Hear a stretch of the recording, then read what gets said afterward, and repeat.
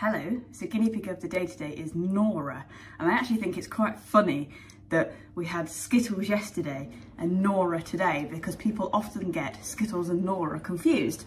But um, Skittles is actually a much lighter colour than what Nora is, and Nora is more of an Abyssinian, messy type, although they do have exactly the same nice light coloured belly. Um, unlike Skittles, Nora is very, very placid. She is a lovely girl, very quiet, very gorgeous. And you will always, always see her outside. The second that door is open, straight outside, straight to the garden. You love your garden time, don't you, darling? Hey. um, but Nora is another guinea pig that I purchased. Uh, again, because I love the agouti guinea pigs. And she looks like she's got eyeshadow, can you see? Like that really, really nice light.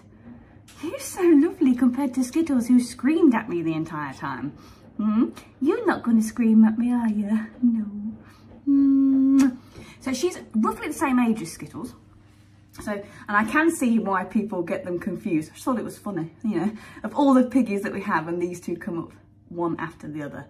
But yeah, Nora is a really lovely and very prominent member of the herd. A lot of people know who Nora is because you do like to cause trouble outside, don't you? Yeah? As if butter wouldn't melt, eh? oh, okay. So there we go. The lovely Nora.